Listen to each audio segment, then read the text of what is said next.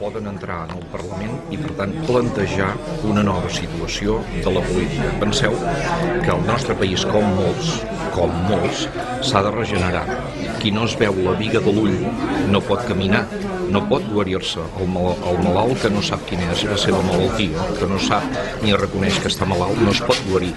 Per tant, l'única manera de guarir-te és fer-te'n el càrrec del que està passant i, per tant, anar cap a una regeneració que contemplarà la regeneració política, però, evidentment, que pretén la regeneració de molts altres àmbits de la nostra societat.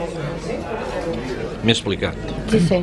Doncs això ho veurem d'aquí poquet. I si em permet, vostè, bueno, quan Arenys Amunt va decidir fer, bueno, dur a terme el referèndum, vostè s'imaginava la gaire personal que tindria tanta repercussió? No, no, no, en aquí...